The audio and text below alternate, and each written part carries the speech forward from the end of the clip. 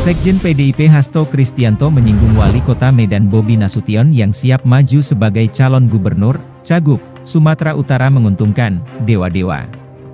Partai Golkar menegaskan mencalonkan Bobi berdasarkan prestasi dan tidak tercela, kami mencalonkan tokoh berdasarkan prestasi dedikasi loyalitas dan tak tercela.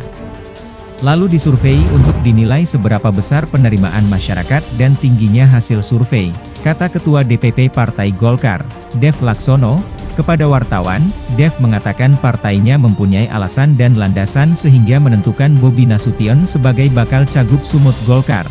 Kata Dev, memprioritaskan kader terbaik berlaga di Pilkada 2024. Ada sejumlah faktor yang jadi alasan dan landasan penentu, ujar Dev. Yang tadi saya sampaikan, kita prioritaskan kader terbaik untuk posisi yang tersedia, imbuhnya.